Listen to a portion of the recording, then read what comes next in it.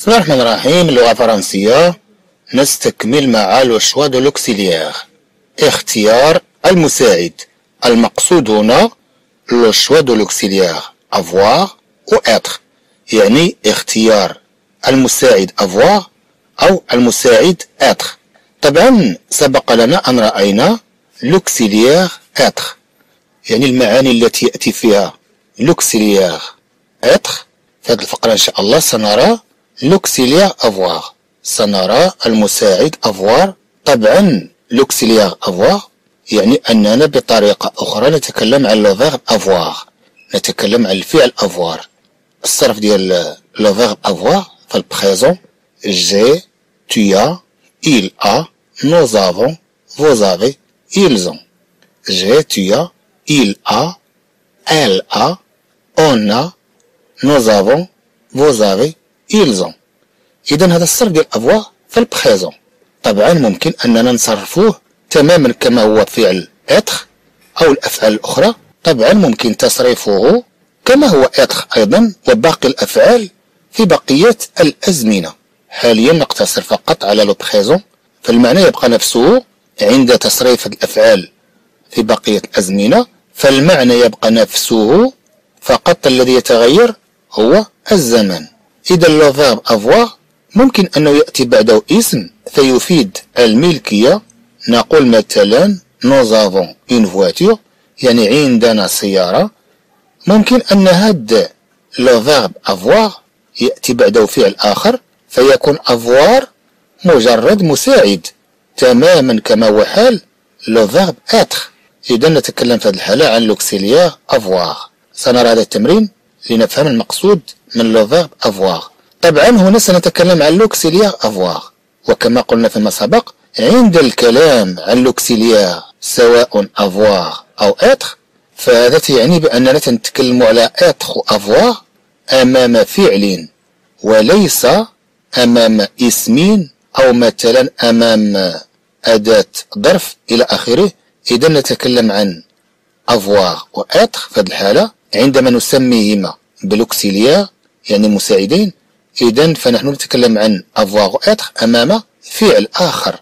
ففي هذه الحالة المستهدف هو الفعل الآخر في واحد الزمن معين. فقط أن être avoir يأتيان كمساعدين. من أجل أن يكون لهذا الفعل الآخر معنى معين في الزمن بطبيعة الحال أو غيره. إذا عندنا هذا التمرين هذا. Ajouter l'auxiliaire avoir aux phrases suivantes. l'auxiliaire avoir aux phrases suivantes اضف المساعد avoir إلى الجمل التالية في الجملة الاولى عندنا nous ثم نقط ثم mangé un gâteau glacé pour mon anniversaire عندنا nous ثم نقط ثم mangé un gâteau glacé pour mon anniversaire اذا ماذا سنضع في النقط طبعا المطلوب هو وضع l'auxiliaire avoir طبعا نقول nous nous nous ف être نقول nous sommes ف être نقول nous sommes طبعا حتى لو لم يطلب وضع l'auxiliaire avoir فمن معنى الجملة والعبارة أنه يظهر بأن علينا أن نضع avoir فمن معنى العبارة يعني أنه يبدو ويظهر بأنه علينا أن نضع l'auxiliaire avoir لأنه لا يمكننا أن نضع مثلا هنا nous sommes mangé نحن أكلنا نصون مونجي ثم تقول أن غاتو إذا المعنى سيضطرب يعني عندما نقول نصون مونجي نحن أكلنا أن غاتو كعكة جلاسي كما لو نتكلم عن كعكة مثلجة. فالمعنى هنا سيكون مضطرب إن شئنا. لكي يكون للجملة معنى إذا علينا أن نضع أفواغ هنا. إذا سنقول ماذا؟ نوزافون مونجي نحن أكلنا un gâteau glacé. Nous avons mangé un gâteau glacé pour mon anniversaire. يعني نحن أكلنا كعكة مثلجة بمناسبة عيد ميلادي. إذا nous avons mangé un gâteau glacé pour mon anniversaire. إذا كما نقول هنا من أجل عيد ميلادي. إذا سنستعمل هنا avoir. نقول nous avons. نقول nous avons mangé un gâteau. ننتقل إلى الجملة الثانية عندنا نقط ثم tu compris l'explication. Tu compris l'explication. إذا ماذا سنقول هنا؟ هنا كما نرى عندنا إشارتان.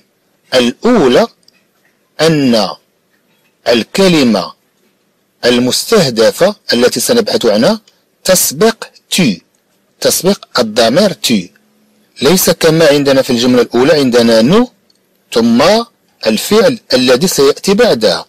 إذا هنا عندنا الفعل يسبق تي ثم ما يؤكد هذا هو علامة الاستفهام في آخر الجملة. من هنا واضح بأن الجملة استفهامية. إذا سيكون عندنا سؤال. إذا ماذا سنقول؟ إذا سنقول as-tu? As-tu compris l'explication? أفهمت أو أفهمت الشرح؟ L'explication يعني الشرح تجي من فعل. Expliquer. يعني فعل شرحة le verbe expliquer المقصود به فعل شرحة طبعا le le verbe comprendre ف ال passé composé نقول j'ai compris tu as compris il a compris nous avons compris vous avez compris ils ont compris إذا عندنا j'ai compris tu as compris إذا tu as compris في السؤال نقول as-tu compris أفهمتي أو أفهمت. As-tu compris l'explication? أفهمت الشرح إذا في الجملة العادية نقول j'ai compris l'explication. Tu as compris l'explication. طبعا في السؤال تيكون عندنا عكس الفاعل مع الفعل وفي حالتنا هذه يكون عندنا عكس الفاعل مع l'auxiliaire إذا سنقول as-tu as-tu compris l'explication أفهمت الشرح طبعا لا يمكننا استعمال être هنا لأن استعمال être هنا سنقول ماذا؟ compris لأن استعمال être هنا سنقول كومبري طبعا في الجملة العادية نقول tu compris. يعني أنت فهمت ولست أنت فهمت كما عندنا هنا. إذا عندما نقول compris إذا المقصود أنت فهمت. أنت من ستفهم. هل أنت فهمت؟ هل أنت موضوع الفهم؟ هل أنت فهمت؟ وكما نلاحظ أن هناك فرق كبير بين استعمال être واستعمال avoir. إذا سنقول كما قلنا as-tu compris l'explication أفهمت الشرح؟ ننتقل إلى الجملة الثالثة. Vu il a vu. إذا كما نلاحظ عندنا le voir. سابق l'auxiliaire avoir. إذا عندنا لو voir اللي هو فعل رأى قبله l'auxiliaire avoir نقول j'ai vu أنا رأيت tu as أنت رأيت إذا كما نلاحظ هنا بأن الرؤية وقعت في الماضي إذا نتكلم عن لو voir إذا نتكلم عن فعل رأى إذا أنا لا أرى الآن أنا رأيت في السابق إذا نقول j'ai vu. إذا إذا لكي نستعمل le verbe voir اللي هو فعل رأى في هذا المعنى بأنني رأيت إذا علي أن نسبقه ب l'auxiliaire avoir كما عندنا هنا. إذا أقول j'ai vu أنا رأيت. ما الذي جعلني أقول بأنني رأيت؟ لأن le voir جاء بهذه الصيغة كما قلنا أننا أخذنا منه. le participe passé وكل فعل في الصرف عنده le participe passé ديالو. كل فعل له صيغة تسمى le participe passé طبعا نعود لجدول الصرف الأفعال المتشابهة تقريبا تكون لها نفس الصياغ إذا عندنا هنا le voir إذا قبله l'auxiliaire avoir هذا الذي جعلني أقول بأنني رأيت في الماضي. يعني أن الحدث وقع في الماضي. هنا عندنا ال a vu هو رأى ما الذي جعلنا نقول بأنه رأى في الماضي ولا يرى الآن؟ إذا طبعا الحال لكي نقول بأنه يرى الآن علينا أن نقول il voit. Il voit. هو يرى. ولكن هنا بطبيعة الحال عندنا l'auxiliaire avoir ثم le participe passé لفعل voir إذا سنقول بأنه رأى في الماضي. Il a vu. طبعا ممكن أننا نضع l'auxiliaire être هنا ممكن أننا في حالات أخرى نضع l'auxiliaire être نقول vu طبيعة الحال l'auxiliaire être ماذا نقول؟ نقول je suis مع je suis es. طبعا عندنا tu ثم es es. ثم est ثم est أو est أو est إذا بطبيعة الحال عندنا il بعدها أو est إذا نقول هو كما رأينا فيما سبق. إذا ممكن أننا نقول هنا vu. Il est vu. يعني أنه هو رؤية. إذا بطبيعة الحال عندما نستعمل l'auxiliaire être طبعا المعنى يتغير. إذا سنقول est vu. المقصود أنه رؤية. ولكن علينا أن نغير بقية الجملة. لا يمكننا أن نقول مثلا le film dont je lui ثم نكمل الجملة. لا يمكن أن نقول هذا. Vu طبعا هو رؤية وعلينا أن نكمل الجملة بما يتناسب مع هذه البداية. نعود للجملة. عندنا هنا a vu le film يعني هو رأى. الفيلم dont الذي je lui أنا له أنا الذي قلت له عنه أنا الذي حدثته عنه. إذا هو رأى الفيلم. الذي أنا حدثته عنه. تقريبا هذا هو المعنى العام لهذه الجملة. إذا ماذا سنقول؟ je lui ثم عندنا في آخر الجملة parlé إذا هذا le participe passé ديال le verbe parler طبعا le participe passé مثلا في le passé composé le passé composé تنوضع le participe passé ديال الفعل ثم نضع أمامه. هي auxiliaire avoir أو auxiliaire être في الحالة التي عندنا هنا طبيعة الحال مع le verbe parler علينا أن نضع l'auxiliaire avoir عندنا le participe passé لفعل parler لفعل تكلم.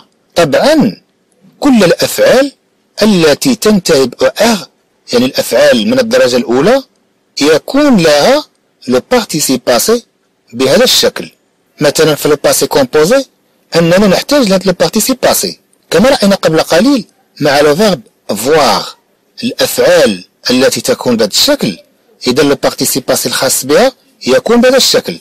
إذا عندنا a vu إذا عندنا l'auxiliaire avoir ثم le participe passé لفعل voir إذا a vu هكذا نحصل على le passé composé نفس الشيء الذي عندنا هنا le verbe parler عندنا le participe passé الخاص به طبعا سيسبق ب l'auxiliaire avoir أو être هذا عامة.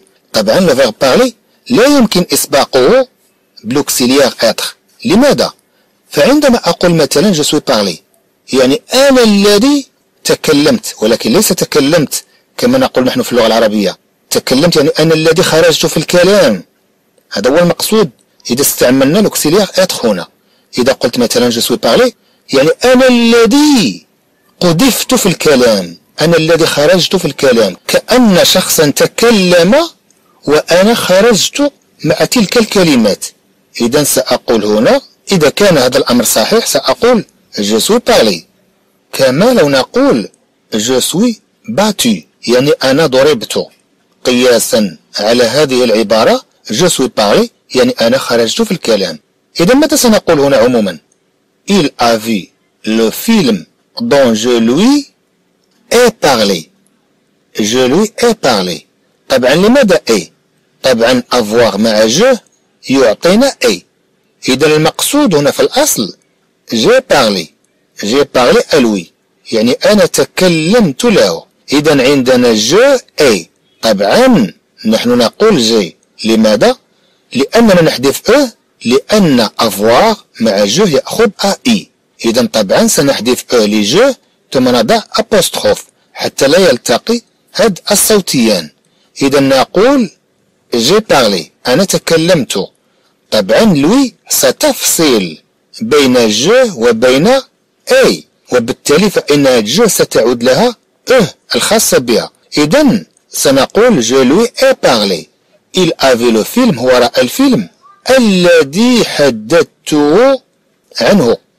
هنا بطبيعة الحال الذي له حدثت تقريبا. الذي أنا له حدثت أو تكلمت.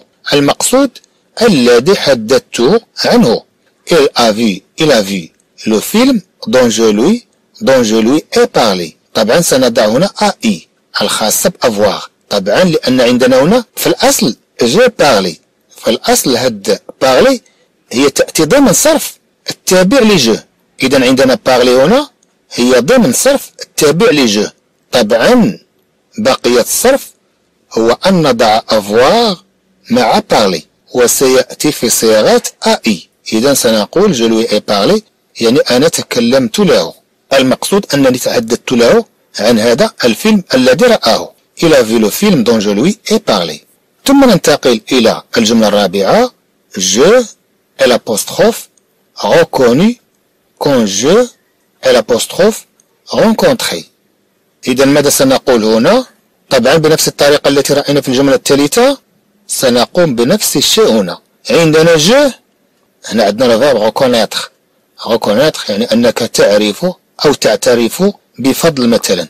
إذا نتكلم عن ال verbe reconnaître إذا عندنا je reconnu l'apostrophe reconnu إذا المقصود أنا عرفت.